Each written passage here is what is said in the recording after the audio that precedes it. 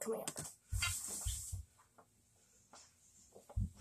In a minute, sorry guys.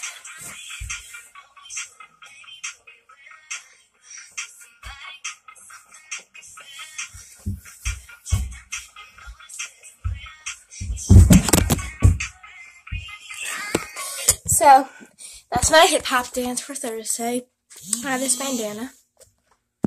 Gray. Gray. Green sequence. Gloves. These suspenders. And then I also put mascara on. Lip gloss. And here it is. I really like it. So, there you have it. Bye!